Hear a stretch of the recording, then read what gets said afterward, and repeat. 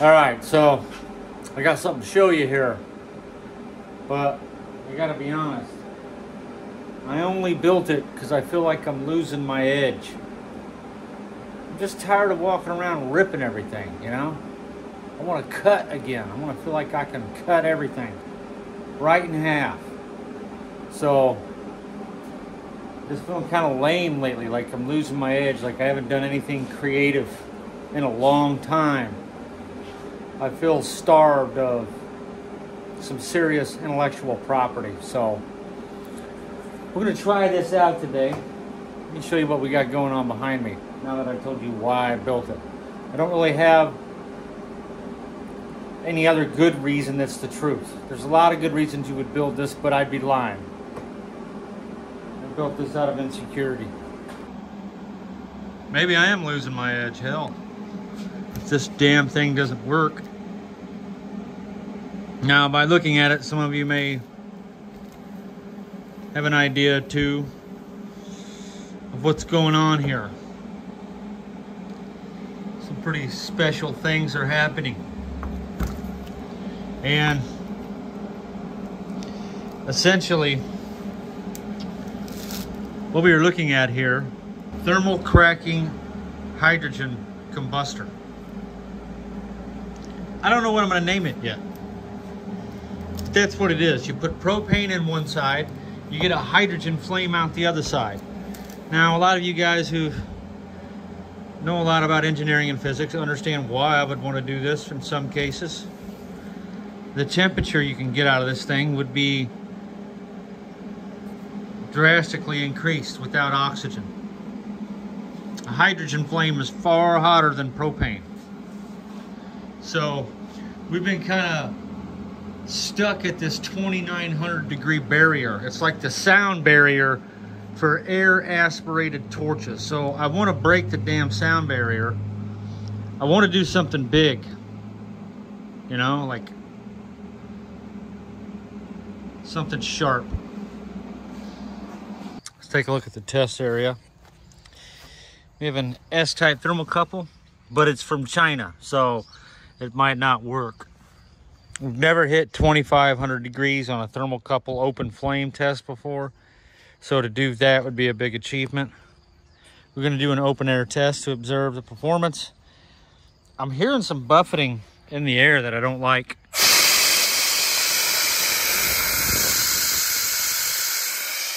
There's about a 20 hertz buffet in there. Like something's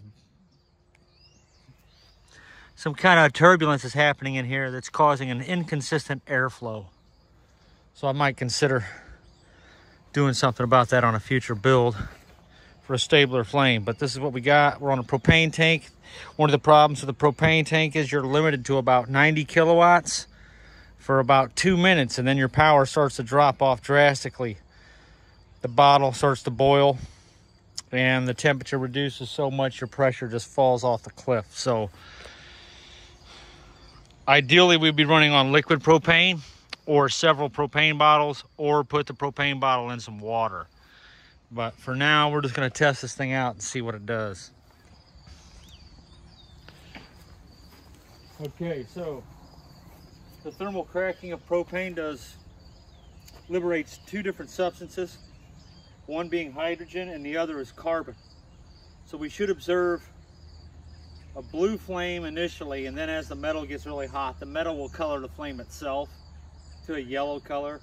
But we might start to see a little bit of a yellow plume from the nanoparticles of carbon being entrained into fuel flow.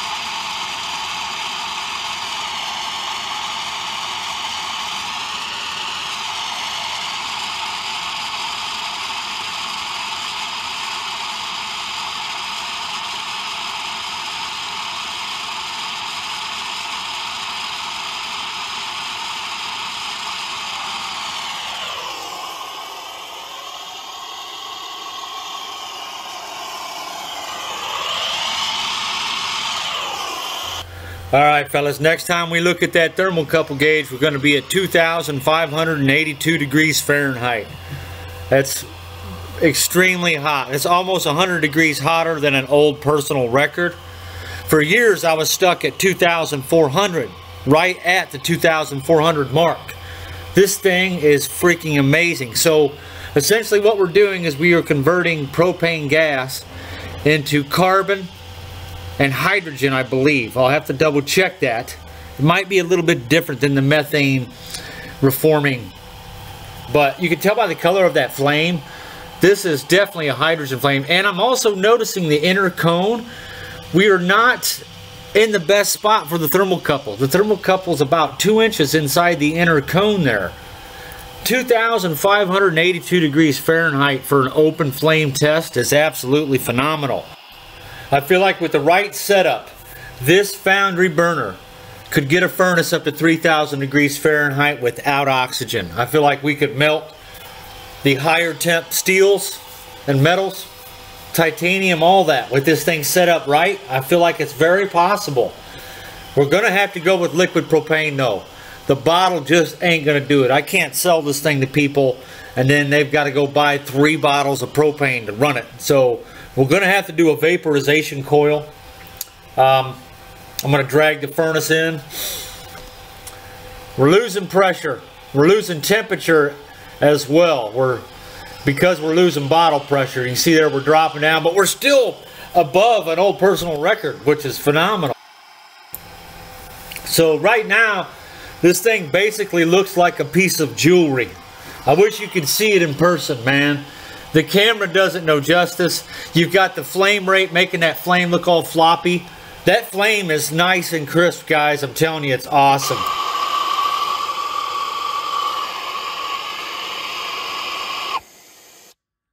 right, that's a wrap.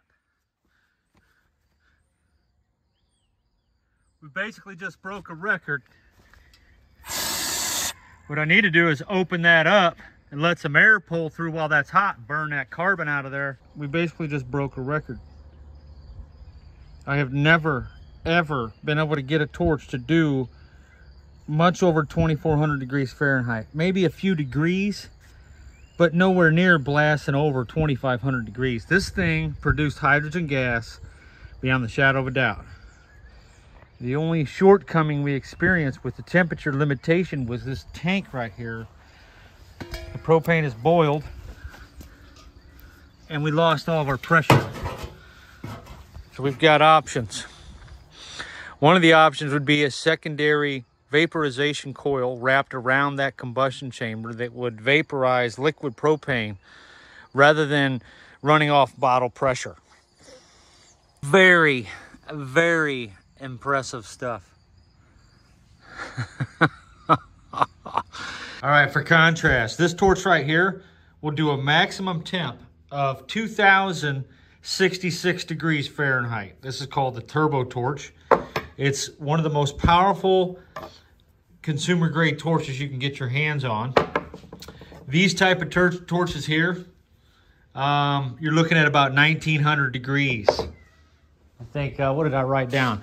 1,922 degrees Fahrenheit is a common temperature limit that you're going to see on your average propane burner.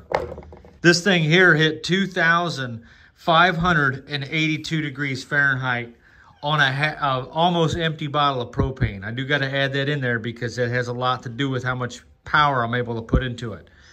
Um, so we're going to try this again with a bigger air compressor and with a fuel vaporizer as well. That's all we're going to do for today. The max temperature of this furnace to date is 2,900 degrees. I have a feeling we can blow that out of the water. No problem.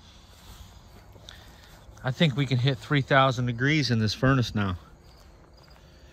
We've got an extra 80 some degrees to work with here, maybe more.